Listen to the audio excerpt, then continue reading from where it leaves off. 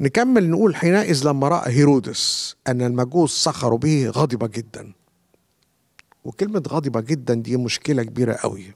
هناك أنواع من الغضب. هناك غضب مقدس آه، غيرة على بيت الله زي ما المسيح غضب على الذين كانوا يبيعون ويشترون في الهيكل فمسك صوت وطرد الباعة والصيارفة. آه، ومثلا آه، غضب على بعض اليهود وبولس الرسول غضب لما رأى في أثينا مملوءة أصناما.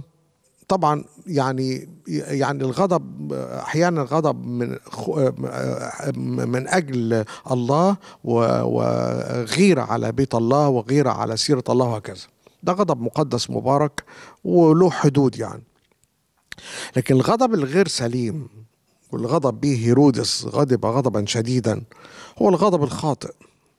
والغضب الخاطئ ده بيكون نتيجة قساوة في القلب ويسبب غيظ وحقد وانتقام وكراهية وأخطاء للسان. و عشان كده معلمنا بولس الرسول في رسالة أفسس يقول يرفع من بينكم كل مرارة وسخط وغضب وصياح وتجديف مع كل خبث.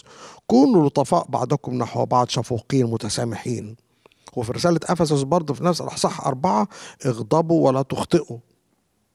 يعني الغضب المقدس لكن لا تخطئ بالكلام. لكن الغضب الغير المقدس هو الغضب اللي ينتج عنه أخطاء أخرى بكل أعضاء الجسم وممكن تكون مؤذية للآخرين.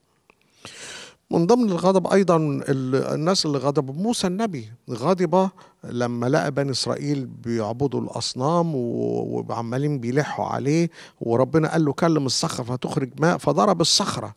لذلك ربنا منعه إنه يخش الأرض المقدسة. وفي سفر أعمال بيتكلم على غضب رئيس الكهنة لما سجن الرسل. وهكذا الغضب ده من الطبيعة الساقطة للإنسان ومش دايما يكون رد فعل لاخطاء الآخرين. يعني ممكن الإنسان يكون نقطة ضعف جواه زي مثلا إيه؟ قايين لما غضب على أخوه هابيل وقام خطأه ماذا فعل هابيل عشان يغضب أخوه؟ لا شيء. دي طبيعة ساقطة موجودة في قايين. غاضبة مجرد أفكار جات له بدون أي فعل أو رد فعل من أخوه. فقام وقتله. وأيضا عيسو لما غضب على يعقوب أخوه